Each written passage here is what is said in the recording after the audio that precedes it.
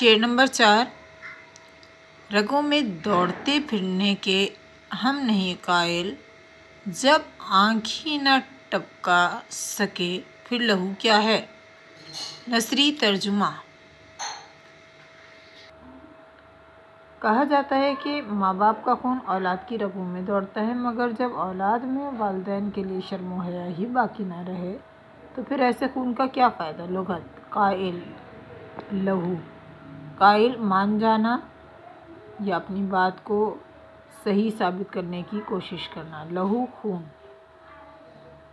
मरकज़ी ख्याल। वालदेन की ज़िम्मेदारी है कि जहाँ वो औलाद को दीगर सहूलियात ज़िंदगी, उमदगी से मुहैया करते हैं, वहीं उनको चाहिए कि बच्चों की तरबियत का भी ख्याल रखें।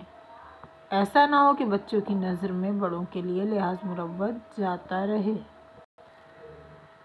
तशरी असदुल्ला खान गालिब को लोग महज इश्किया शायरी का शायर समझते हैं। हालाँकि उनकी शायरी फ़लसफ़ा फ़लसफ़े, फ़िक्र माश और माशरत जैसे मौजूद से भी मुंसलिक थी।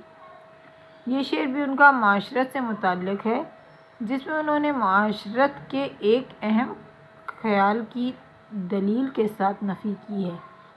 उनका कहना है कि अक्सर कहा जाता है कि औलाद की रगों में वालदेन का खून दौड़ता है। मैं इस नज़रिए के कायल नहीं, क्योंकि रगों में एक ही खून खसूसियात का मुशाबह होना भी है।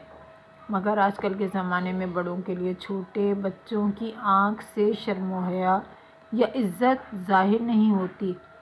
लिहाजा आजकल का,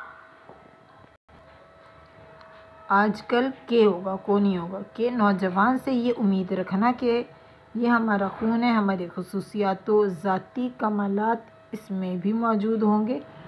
तो इस ख्याल को हम सही नहीं समझते, क्योंकि शर्मोया का ताल्लुक़ तरबियत से है, और अगर तरबियत सही ना हो तो खून के एक होने का फ़ायदा, और यहाँ पे का कोई फ़ायदा नहीं लिखे।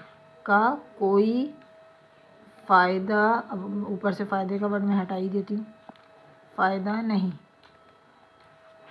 या तो फिर डॉट डॉट लगा के एक्सक्लामेशन मार्क लगा दें। वालदेन को चाहिए कि वफा शारी और एहतराम को औलाद की तरबियत का एक लाजमी हिस्सा बनाएँ। बकौल बकौल शेख इब्राहिम ज़ौक। आदमियत और शे है, इल्म है, कुछ और शय कितना तोते को पढ़ाया पर वो हैवान ही रहा।